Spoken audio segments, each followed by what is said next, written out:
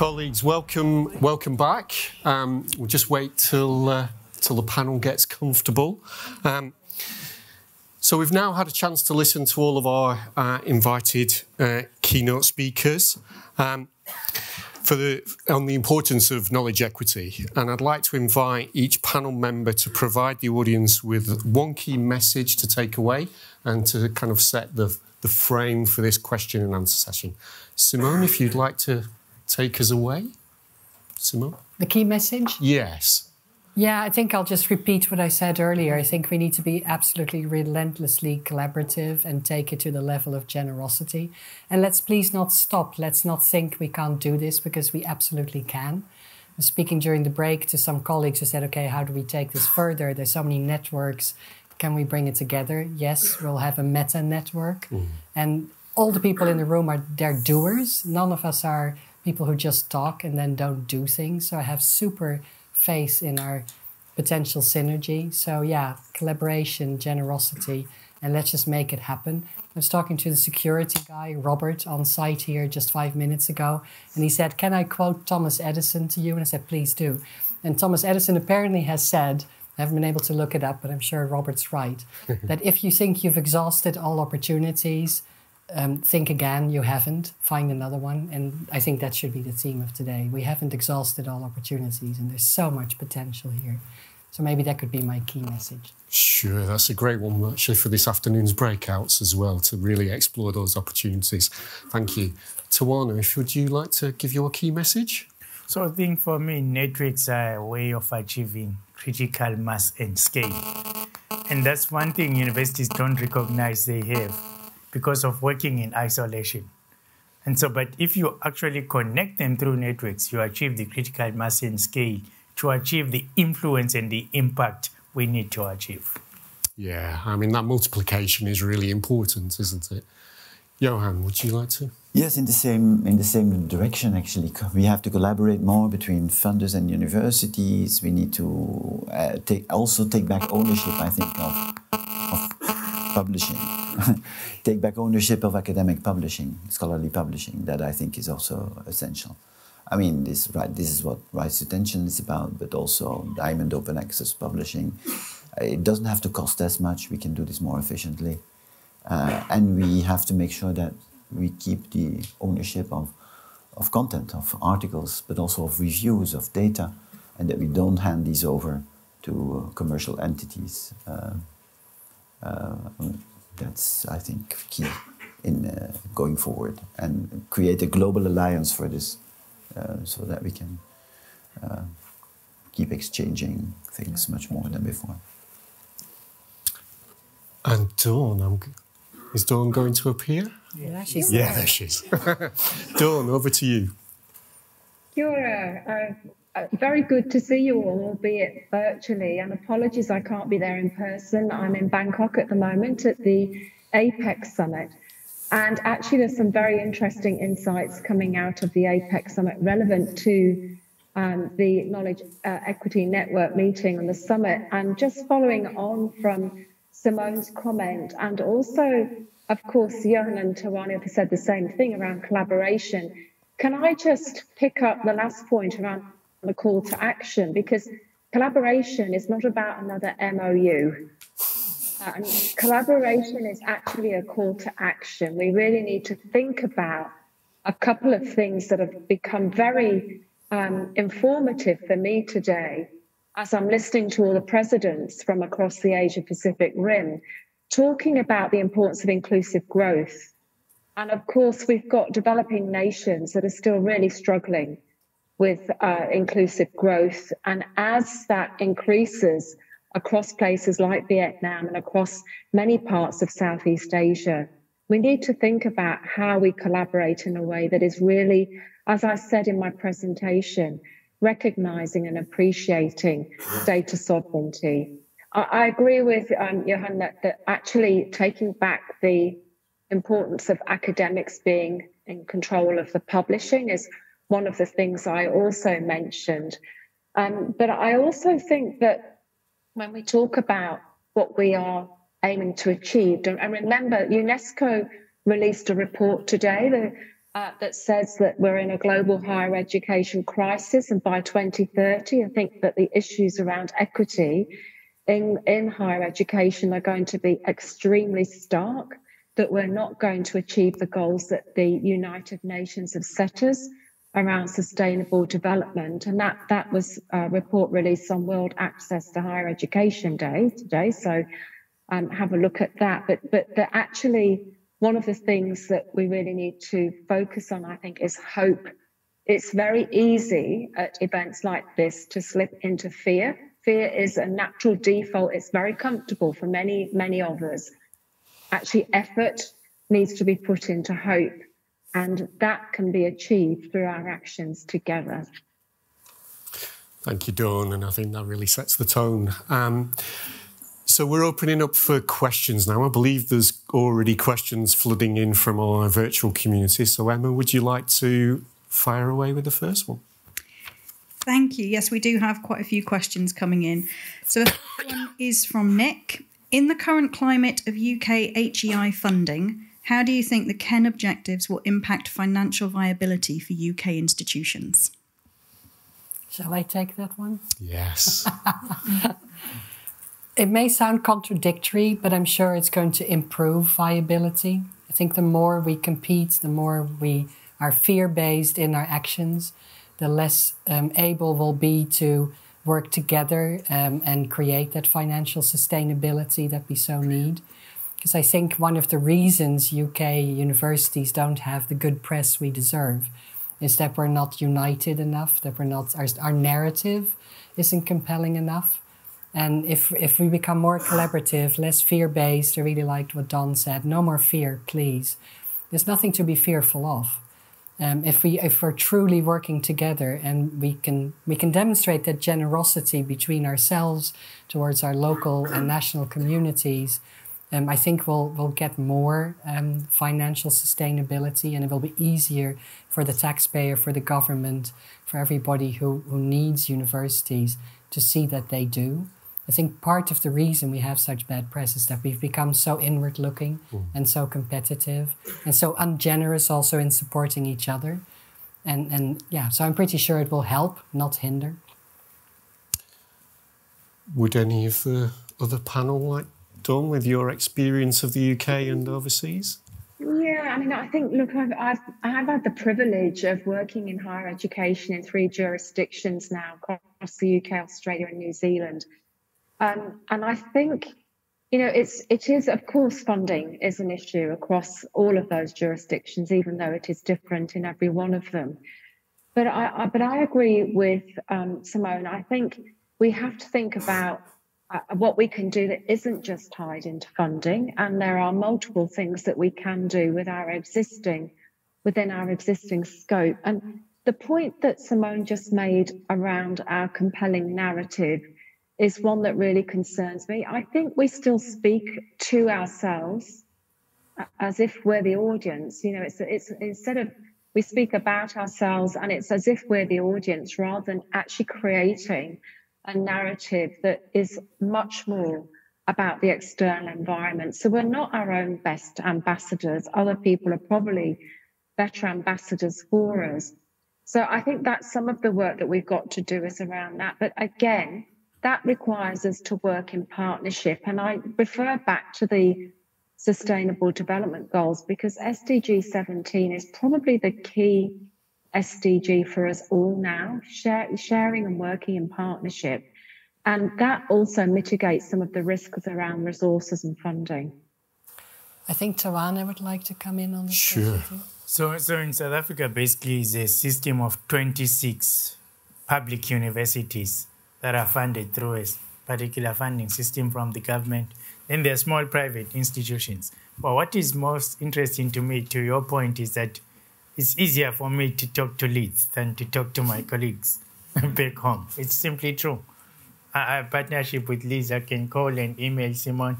A partnership with NYU, Michigan State University, Montpellier, I have more contact with them than with my former colleagues in there because of a competitive thing that is not helpful to anyone.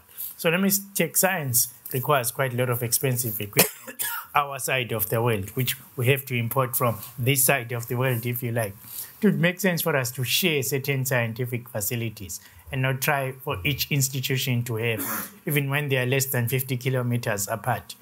Mm. But every university tries to do so. Yeah. Same with library resources. We could have a larger consortium, to, you know, to deal with those big bad giants that uh, you know make us pay for what we produce anyway. so, but we don't. So each lab, each university has a library budget that is dwindling because the public funding or government funding mm. is particularly dwindling as well. So at the beginning of COVID, I wrote a paper which our Association of Vice Chancellors actually published. It's called Reimagining Higher Education in South Africa.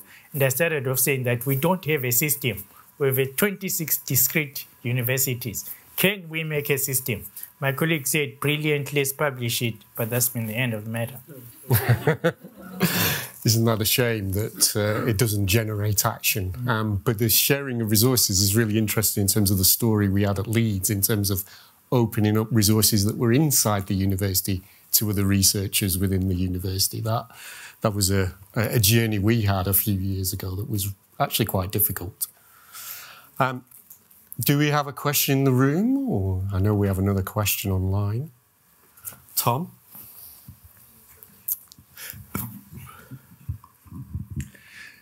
Uh, Curt Rice from the Norwegian University of Life Sciences. Uh, thank you so much for these fantastic talks this morning.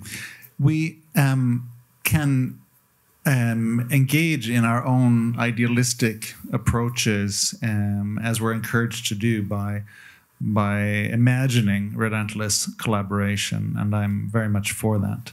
But I was especially engaged um, with a comment of Johan's in his talk about uh, the smoke and mirrors of the publishers. And I understand that as an assertion that there are groups deliberately working against equity and knowledge equity.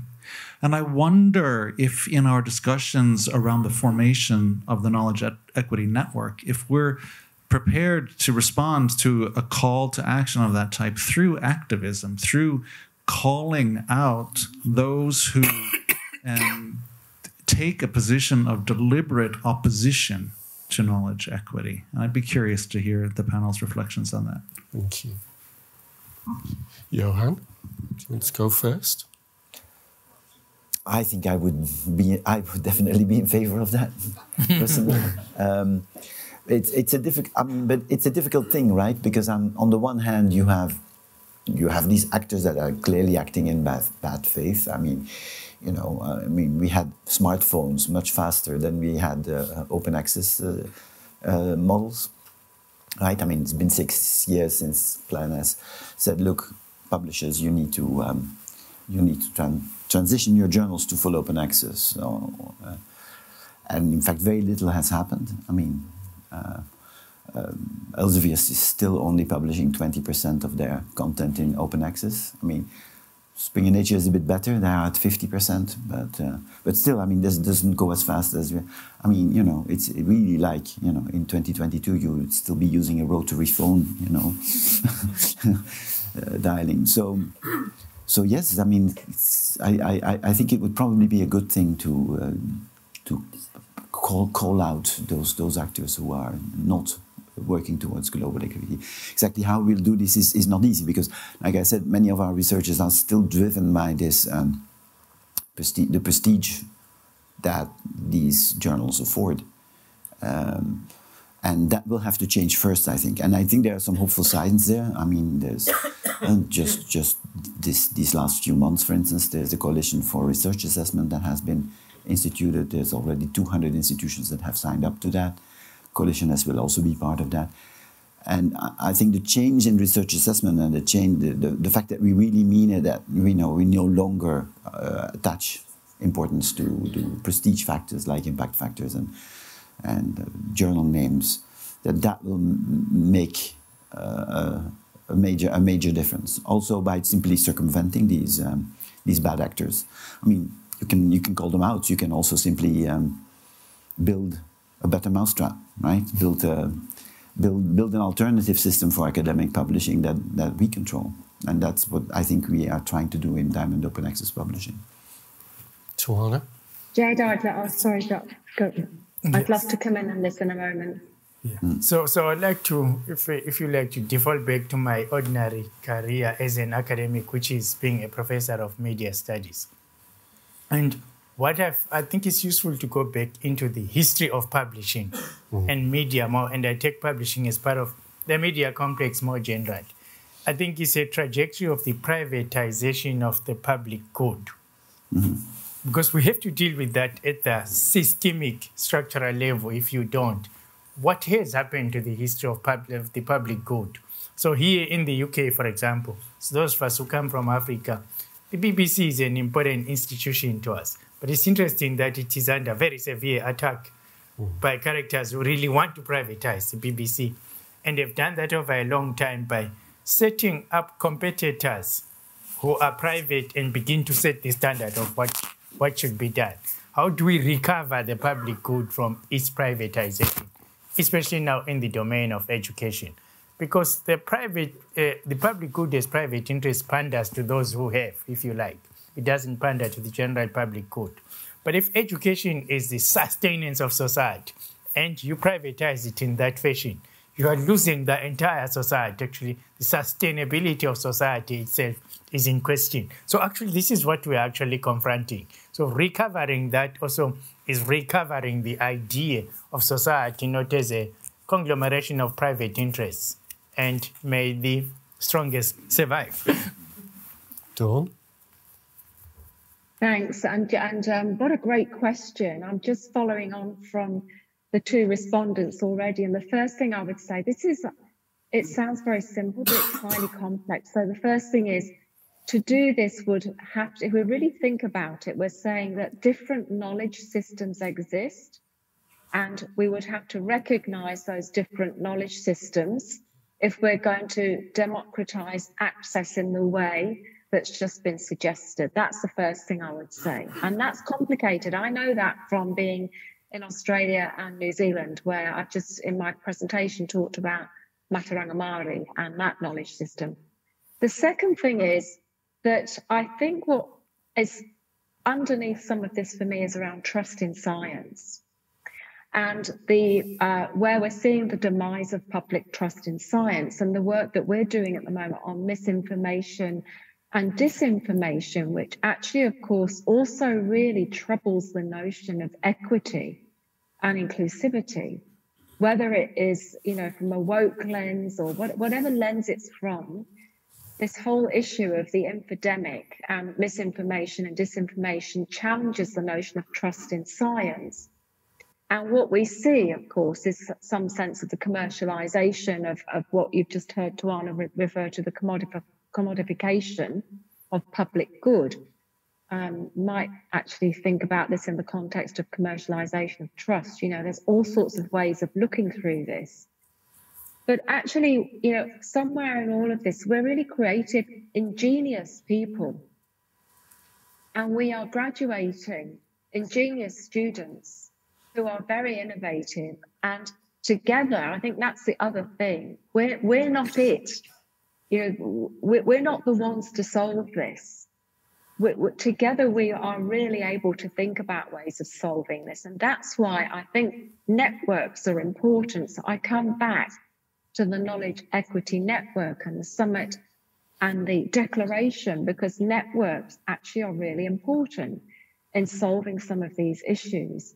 And it's and I just want to point out that for me, the response to that problem that we're dealing with with publishers is actually quite a complex problem, which is more mirroring some of the issues that we're seeing in society. So through education, we can also tackle some of those things. Can I come in too? Sure, I totally agree with what my three colleagues have said, but I think it's also I think we can actually fight this through multiple different routes. We've already heard a few in the answer to Curt's question, but I think another one is university leaders. Um, I think we're un, sometimes unthinkingly encouraging our colleagues to focus so much on publishing. The reason they're doing it and they're not aware of other ways of doing it. So I think your presentation really opened my eyes to how we can encourage colleagues to publish differently is because their career is built on it. For many of our early career researchers, publishing in prestigious journals with impact factors of you know, the highest, highest possible, they know that that defines their career paths. So if we keep doing that, if we basically leave it to journals and funders to decide on the careers of our own early career and mid career and late career researchers, we're, fe- we keep feeding that system. So, so as leaders, we also need to think of the incentives we put in front of our colleagues and how we define their career paths. And if we don't encourage uh, societal outreach, if we don't encourage other ways of, of, of building your career, if we don't encourage really great teaching and, and working with students, if we only focus on getting the, the funding in and publishing in high impact journals, which we all keep doing, whether we want it or not, then it's going to be much harder to take the power away from the publishers. Because, of course, it's insane that we're paying for the research, we're paying for the manuscripts, we're paying for publishing them because we're actually working as peer reviewers and we're helping the publishers. And then we also pay to get the manuscripts back into our libraries. I mean, who, who has thought this up? Hmm.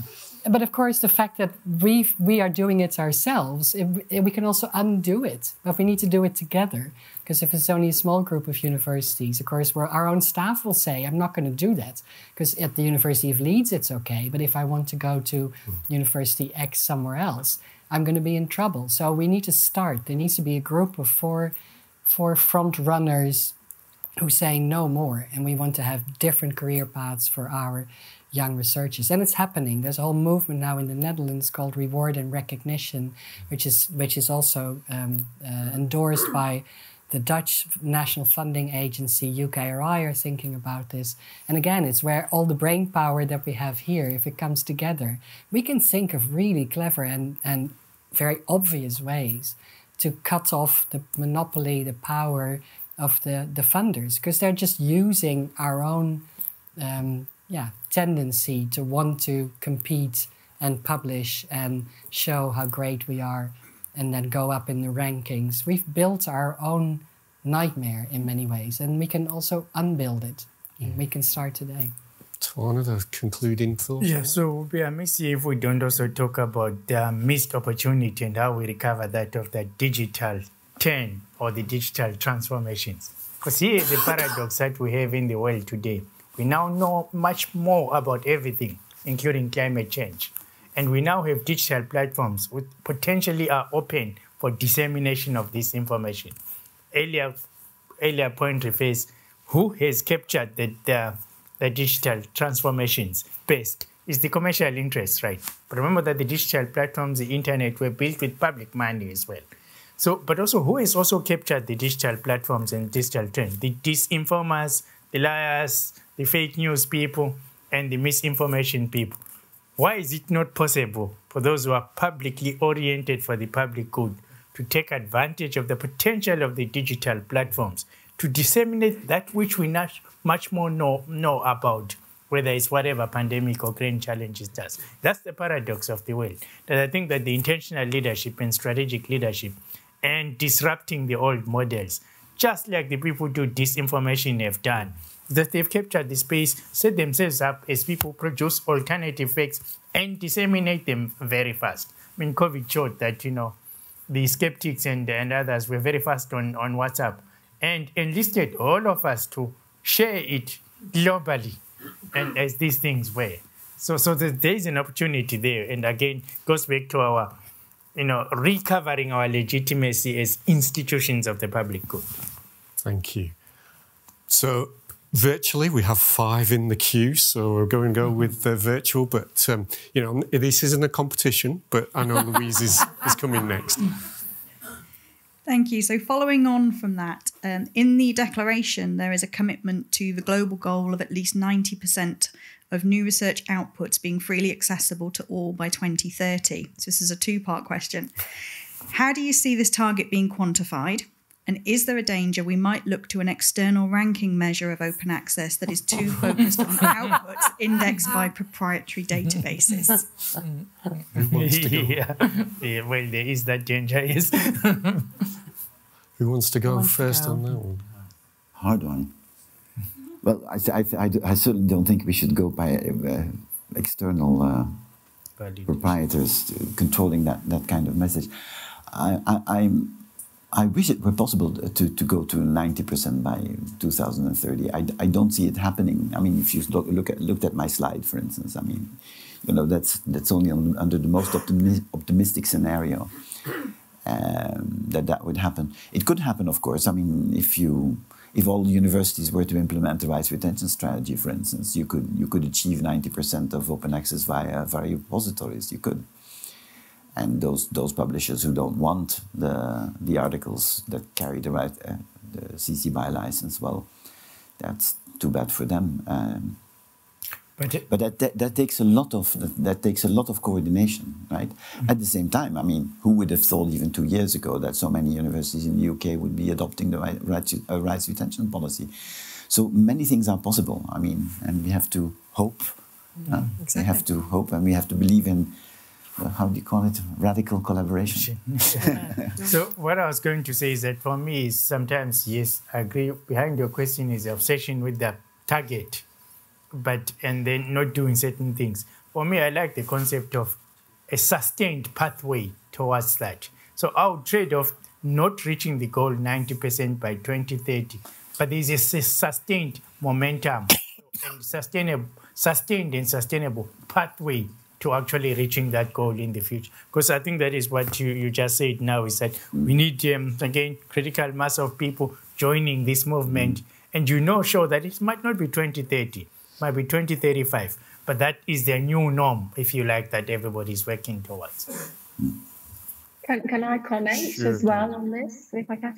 So, um, what I would say is that the first thing is that targets are not necessarily the problem, it's the way in which they're applied, understood, misinterpreted, and become obsessed around. Um, so, so let's not demonize targets completely because actually, you know, there are important things that have helped us to move to much more gender equity. They've helped us to achieve enormous things um, globally, and so it, it. But it's it's what happens to the target. It's what we do with it, because the target is an inanimate object. It's only vitalized when we do something with it. But actually, my my bigger comment is this: as soon as we try to solve the problem using the same thinking that created it, we're really in trouble, right? So, do you want to? No, I think I'm. I'm Okay. Louise, Tom?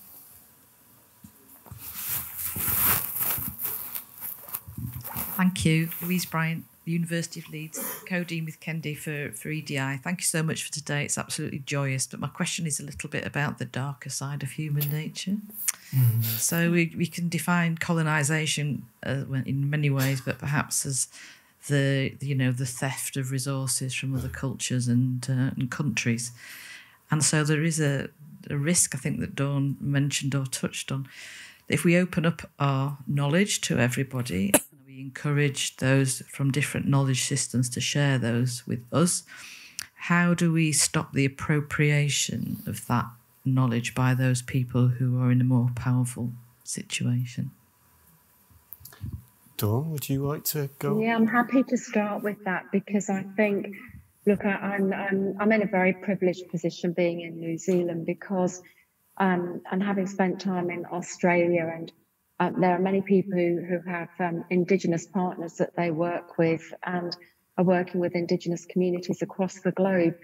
Uh, but what's really interesting to me, uh, and Tawana, of course, will comment on this, I'm sure. What's really interesting to me is the way in which we're really now starting to understand data sovereignty, not just as researchers, but actually as communities. And, and it isn't just about cultures and heritage or environments.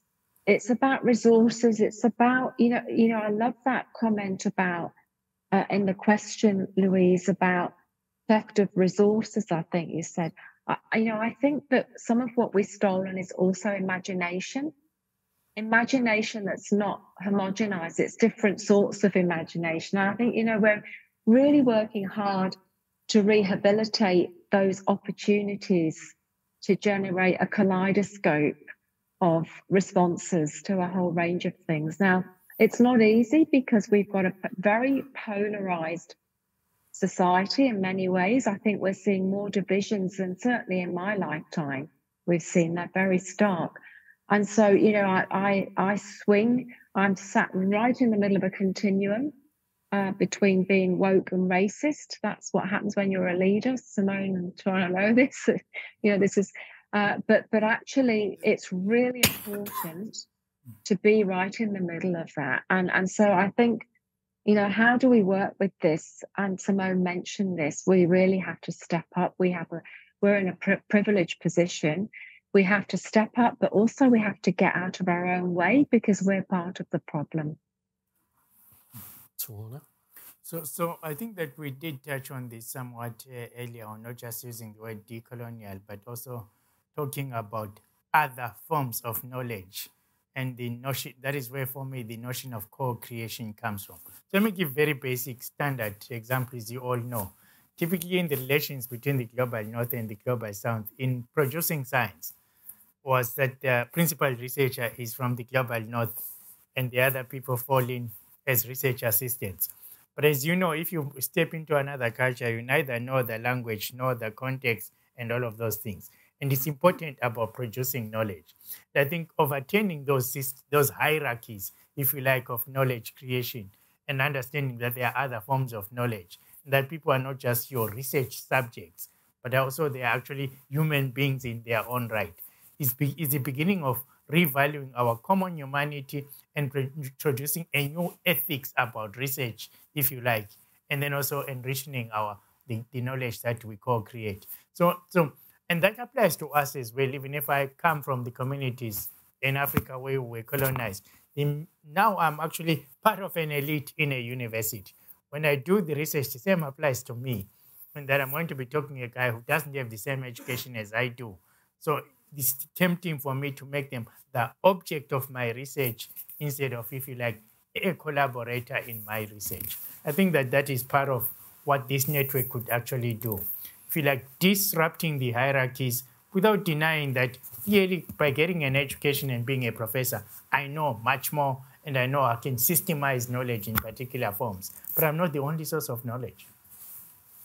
Can I add, Jen? Sure. Yeah, I, th- I think this is really about, Louise, I think you're right to bring this up, but for me, sort of cultural appropriation is on the spectrum of finally listening, understanding other voices. And it's mm. something, of course, we should try to avoid because it has its own dark side.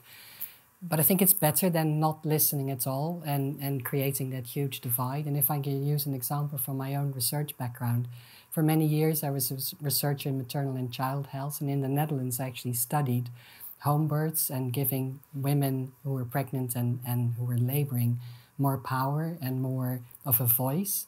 And it was fascinating to see how difficult it is to do that because everywhere, including in the Netherlands, obstetricians really are the powerful voices. They have the most money, they have the research funding, they're the academics. Midwives are often very marginalized as really important professionals.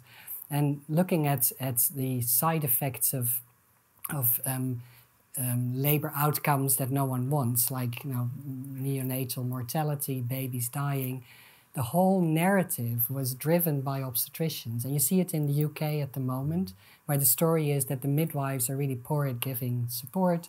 Every woman should be seen by an obstetrician. You can see the medical interventions going up. And the women's voices were nowhere.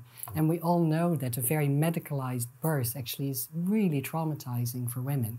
The percentage of women who actually have post uh, traumatic stress disorder because of what they're going through in labor is somewhere around 20%, and it goes up as medical interventions go up, and as women lose their voices and are just basically the birthing machines and the obstetrician is doing the delivery.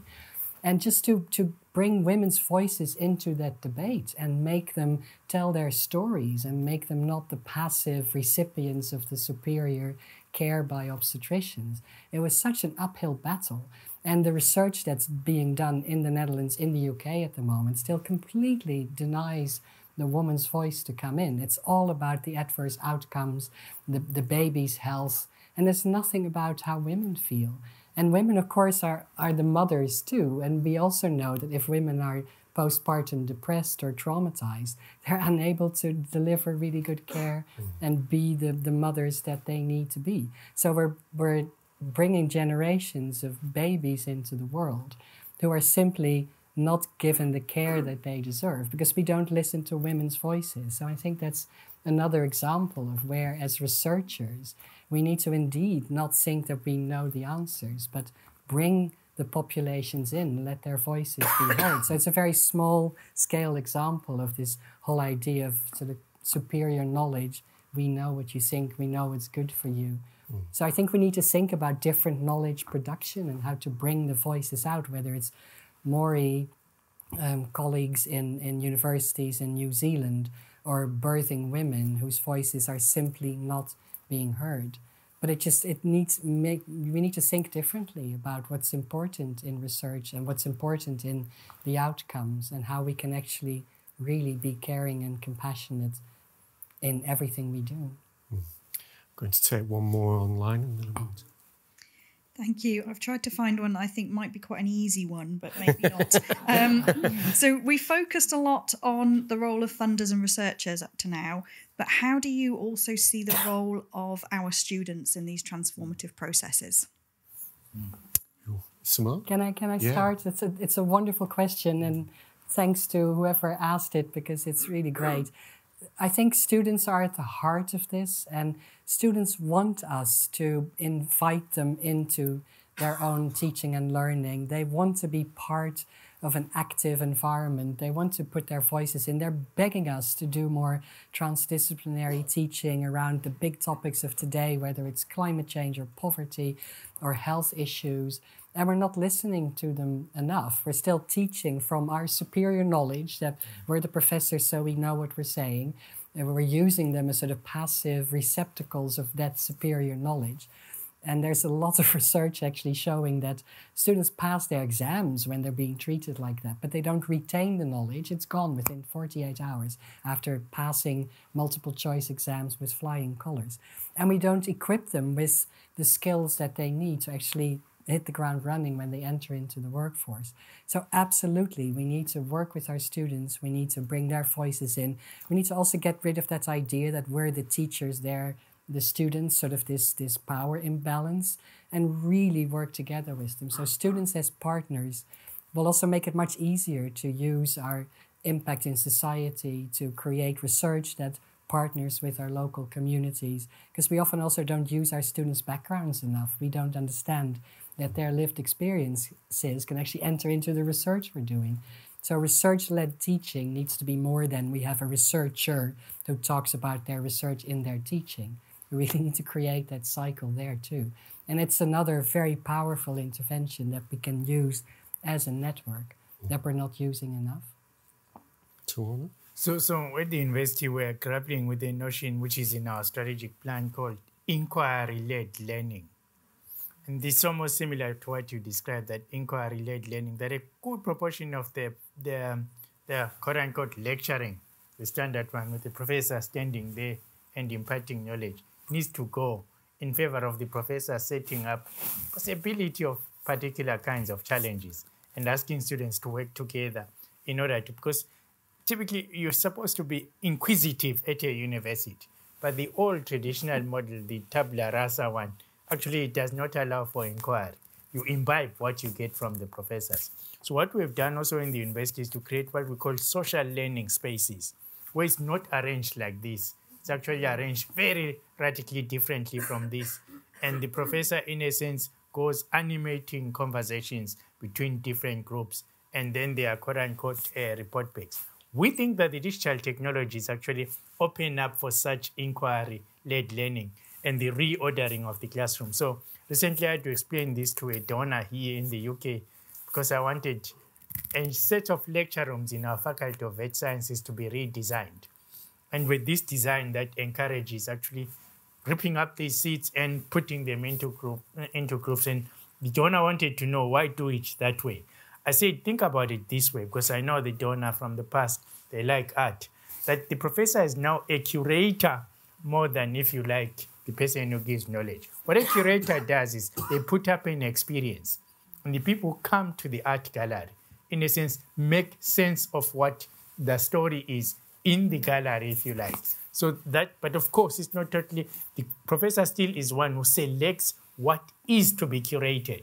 So I think now we should begin to think about curating forms of knowledge rather than imparting forms of knowledge and then testing them for, for, for that. And then Aswa says, what graduate attributes do we want? And critical, in, critical mm, inquiry-led learning, you think of critical thinking, negotiation, appreciating diversity, appreciating com complexity, developing resilience, and that cannot just be imparted in, the, in, in that way. So a problem-solving culture, if you like, could, could help in that in that space. That's what we're at least trying to experiment with. So less uh, for summative uh, uh, assessment and more, you know, more exploratory assessment. Yeah. Yeah, I've been listening to the responses to those two last questions and the one on colonization as well. And um, what I'm thinking about is power. And both of the uh, questions actually require, in response, a reconceptualization of power. Mm-hmm. So the first one requires us, which is what's happening in New Zealand, co-governance. Very uncomfortable, really uncomfortable. And, and the second one, in response to our students, you know, it's not just about co-creation, because what you've just said, Tawana, is quite interesting. The professor still decides what is curated, okay? Not suggesting that's right or wrong.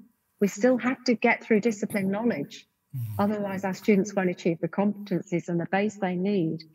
But how, how does that happen? And with our communities or not with our communities?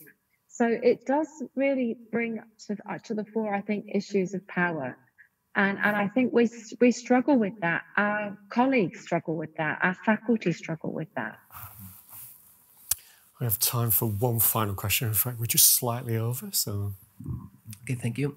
Um, uh, we are Maria Jose and Javier from University of Salamanca in Spain. Uh, sorry, guys, for asking a question during the break time. Uh, we have so many ideas and so many questions, and but we are uh, thinking about what he has mentioned before regarding that we have to win if we want to get what we want. Uh, we want to call or we want to ask you guys from countries with a longer experience suffering the pressure of publishing and rankings.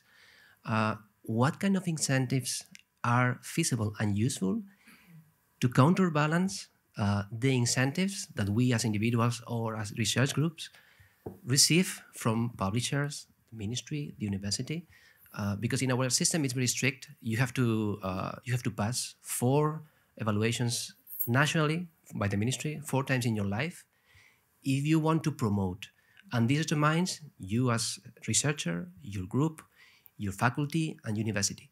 So we believe into this, but we need more people on board who either doesn't believe or perceive that they cannot believe. So how can we really uh, motivate them with something that is recognized? Thank you. Who wants to go? It's a big question. It is. Yeah, maybe we should take it into one of the breakout sessions this afternoon. It's it's a really pivotal, very big question, and I think there are multiple answers, and some I think have already been provided earlier. Yes. But thank you for that question. Yeah, maybe we should just keep it and take it to the afternoon session. So, so in our system, what has been, and at our university, we are talking a lot about transdisciplinary research, and that question has come up multiple times. That the current system, the national system particularly, doesn't, uh, there's a national rating system in South Africa, A, B, C, D, and Y and P for researchers. Now, it's only a South African system, but it, it uh, valorizes being a specialist almost in a narrow area, whereas transdisciplinarity wants to cut across. Fortunately, we've been in conversation with the National Research Foundation to begin to incentivize transdisciplinary research. It fits in with the governmental notion also of that transdisciplinary research is more about societal impact. Of course, governments want societal impact because of the election cycle as well. So there is a coincidence of interest there. But there is no figuring out how this is going to work.